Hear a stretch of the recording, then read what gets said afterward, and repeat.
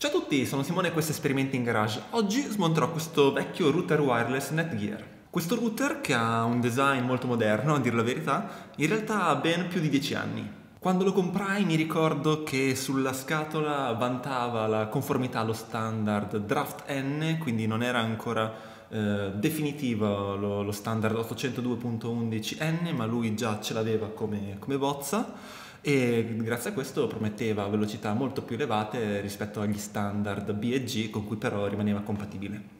Non solo, mi pare dicesse anche di avere un sistema di antenne intelligenti, forse fino a 7 antenne, ed è la cosa che più mi incuriosisce andandolo ad aprire oggi.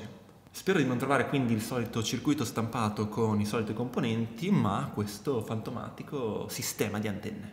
Ovviamente lo smonto perché non funziona più, ho provato ad utilizzarlo in casa come ripetitore, ci ho collegato sul retro un, un cavo LAN che arriva dal, dal router principale, questo ricreava un'altra rete wireless, però le velocità di connessione erano veramente imbarazzanti. E non solo di connessione wireless, anche attaccandoci di nuovo il portatile con un altro cavo Ethernet, la velocità era di circa 1-2 megabit al secondo roba da far concorrenza ai vecchi modem 56k.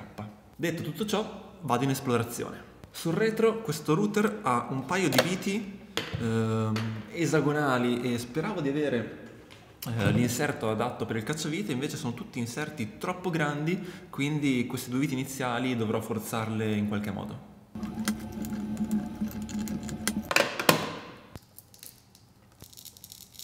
Tipo il biadesivo più forte sulla faccia della terra. Ok, ce l'ho fatta. Ho tolto il pannellino frontale che ho visto che era attaccato solo con del biadesivo, ma ora serve altra forza bruta.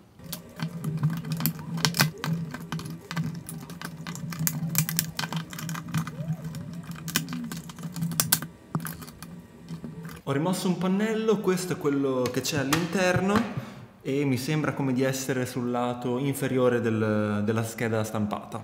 Adesso provo a rimuovere anche il pannello sull'altro lato. Anzi, ho trovato delle viti di dimensione umana, vado a svitare quelle.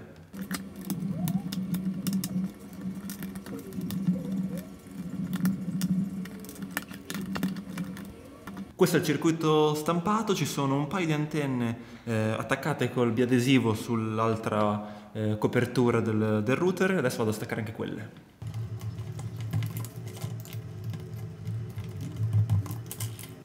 La bestia è stata liberata. Allora, alla fine dei conti vediamo cosa abbiamo. Allora, questo è il lato superiore del circuito stampato. Sul retro abbiamo la porta DSL, quattro porte LAN e il connettore del trasformatore per l'alimentazione, più il tastino per il reset. Sul lato frontale abbiamo ben 8 LED, di cui 2 verdi e 6 bicolore, che probabilmente andrò a smontare per recuperare per progetti futuri. Per il resto ci sono i soliti componenti, condensatori, bobine, però ci sono una certa quantità di circuiti integrati, di chip, 1, 2, 3, ne vedo, ne vedo 4, quindi vuol dire che c'è molta elaborazione in, in un router. E tra l'altro noto in questa zona un alone, quindi forse c'è entrata dell'umidità e questo potrebbe aver danneggiato qualche componente e potrebbe essere la causa della velocità bassissima che ho notato ultimamente provandolo. Qui abbiamo le antenne, sono due, quindi chissà cosa mi ricordavo, si agganciano sul retro su tutto questo blocco che deve essere però il reparto che gestisce appunto il, il segnale delle antenne. Forse è in questa zona che c'è una, una sorta di sistema avanzato per la, la gestione del segnale.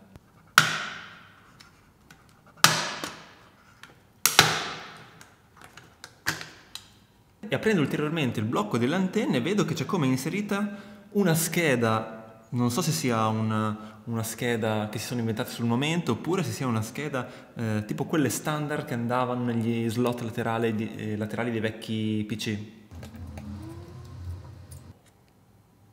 Voi sapete che secondo me potrebbe non essere un'ipotesi così azzardata? Vado a dare un'occhiata su internet. Ci avevo visto giusto, questa è una scheda PCMCA, questo è l'acronimo di questo standard infinito e quindi questo router ha questa porta qui, quindi teoricamente si potrebbe aggiornare questa scheda wireless oppure mettere questa scheda wireless in un vecchio computer.